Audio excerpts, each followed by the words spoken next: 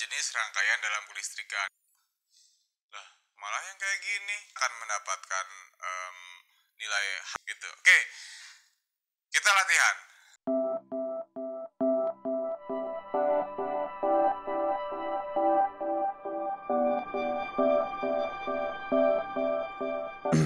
Oke, kita latihan ya. Perhatikan gambar berikut ini. Berapakah hambatan totalnya? Dan yang kedua, jika antara A dan C diberikan beda potensial 42 volt, berapakah arus dalam hambatan? Oke, kita mulai dari yang A. Kita lihat dua hambatan yang kiri terhubung secara seri, maka bisa kita tambahkan saja menjadi 12, ya 4 tambah 8, 12. Eh, maka hambatannya jadi 12 ohm yang sebelah dua yang kiri. Nah, dua hambatan yang kanan dirangkaikan secara paralel sehingga hambatan gabungannya dari yang dua yang kanan itu adalah kita hitung seperti ini, dapatlah angka 2 ohm. Sehingga hambatan yang 12 ohm itu kita serikan dengan yang 2 ohm mendapatkanlah hambatan 14 ohm. Jadi hambatan totalnya dari rangkaian ini adalah 14 ohm. Berikutnya, berapakah arus dari masing-masing hambatan? Oke, kita lihat dulu berapa arus totalnya. Arus itu kan V per R.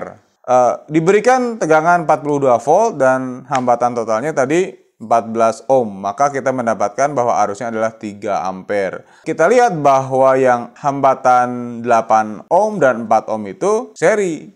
Jadi arusnya belum terbagi. Jadi ini sebesar ini, sebesar 3 ampere. Nah, sekarang kita lihat arus pada 6 ohm dan 3 ohm.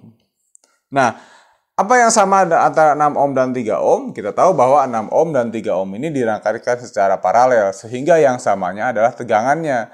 Nah, kalau tegangannya sama, kita bisa membuat seperti ini. R yang 6 ohm dikali I eh, yang masuk ke sana akan sama dengan em, R yang 3 ohm dikali I2 sehingga kita bisa menuliskan seperti ini bahwa I2 sama dengan 2 I1 dan arus ini kan terbagi ya terbagi dua.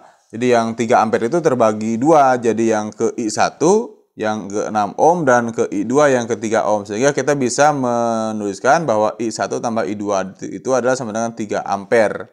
Karena arus keseluruhan adalah 3 ampere Nah, kita ketahui dengan memasukkan persamaan ini ke sini, maka kita mendapatkan bahwa I1 adalah 1 ampere, ya, dan I2 adalah 2 ampere. Ya, jadi, eh, arus yang masuk ke 8 ohm dan 4 ohm itu adalah 3 ampere, yang masuk ke 6 ohm itu adalah 1 ampere, dan yang masuk ke 3 ohm itu adalah 3 ampere. Nah, itu saja pembahasan kali ini. Semoga video ini bermanfaat. Terima kasih, saya Agung Firmansyah dari Tongsis Fisika.